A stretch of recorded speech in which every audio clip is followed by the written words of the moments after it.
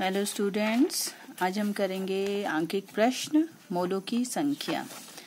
तो मोलों की संख्या जो है, ये इसका सूत्र होता है ग्राम भार बटे अणुभार, ठीक है? मोलों की संख्या को रिप्रेजेंट करते हैं स्मॉल एन से, ग्राम भार को स्मॉल डब्ल्यू से, अणुभार को कैपिटल एम से।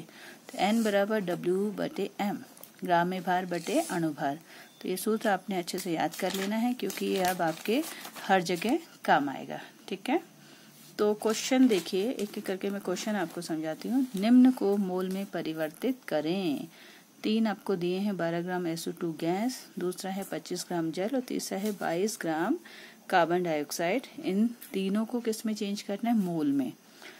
ग्राम में दिए हुए हैं। तो देखो, जब मोल में परिवर्तित करना है तो आपको सिंपली क्या है? सूत्र याद होना चाहिए, मोलों की संख्या का क्या होता है? ग्राम में भार बटे अणुभार ठीक है?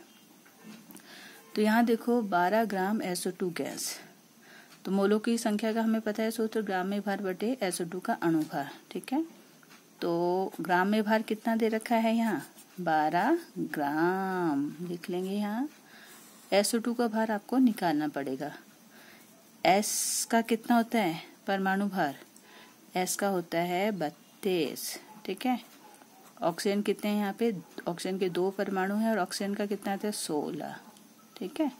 तो ये हो जाएगा बारह बटे बत्तीस, सोलह दूनी भी क्या हो जाएगा? बत्तीस। तो बत्तीस में बत्तीस जोड़ेंगे तो आपका क्या आ जाएगा? बारह बटे चौसठ, ठीक है? इसको जब आप भाग करेंगे तो इसका आंसर कितना आ जाएगा? It will come out zero point one eight seven five mole ठीक है, जब आप सिक्सटी फोर बारह को सिक्सटी फोर से चौंसठ से भाग करोगे तो ये आपका आ जाएगा zero point one eight seven five ठीक है?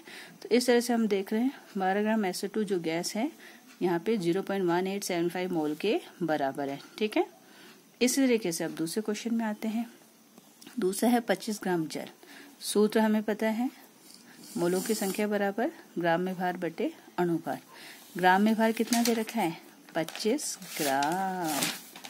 अणुभार हमें निकालना पड़ेगा, जल मतलब हुआ एच टू ओ ठीक है? तो ये क्या हो गया, दो और क्योंकि हाइड्रोजन का वन ही होता है तो टू वन जो टू ऑक्सीजन का हो गया सोलह। वैसे वाटर का आपको याद भी होना चाहिए कि इट इज़ ट्वेंट एटीन होता है वाटर का, ठीक है? अणुभार। अब ये देखो, पच्चीस में से एटीन को आप भाग करेंगे एटीन से भाग करोगे, हो जाएगा वन ये आएगा 1.39 मोल ठीक है? तो इस तरीके से 25 ग्राम जल जो है, कितने मोल के बराबर होगा? 1.39 मोल के बराबर होगा, ठीक है? अब है नेक्स्ट क्वेश्चन है, बारह, बाईस ग्राम कार्बन डाइऑक्साइड को चेंज करना है मोल में। तो सेम सूत्र है, मोलों की संख्या होता है ग्राम में भार बटे अणुभार ठीक है? तो ग्राम में भार कितना दे रखा है? बाईस। कार्बन डाइऑक्साइड क्या होता है? सी ओ टू ठीक है? तो कार्बन का परमाणु भार कितना होता है? बारह। ऑक्सीजन के कितने हैं परमाणु? दो। तो दो और ऑक्सीजन का परमाणु भार कितना होता है? सोलह, ठीक है? तो इस तरह से इसका क्या है? आप अणुभार निकालेंगे, ठीक है? बाईस बटे, वैसे याद होना चाहिए, सिंपल है ये। सोलह दूनी कितना हुआ? बत्तीस, ठीक है? ये हो जाएगा बाईस। बत्तीस में बारह जोड़ेंगे तो ये हो जाएगा चवालीस।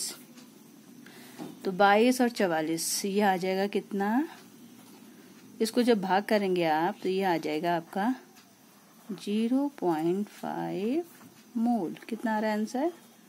Zero point five mole, ठीक है? तो इस तरीके से हमने देखा इस वीडियो में कि किस तरह से हम क्या है, ग्राम को मोल में परिवर्तित कर सकते हैं। सिंपल सूत्र है।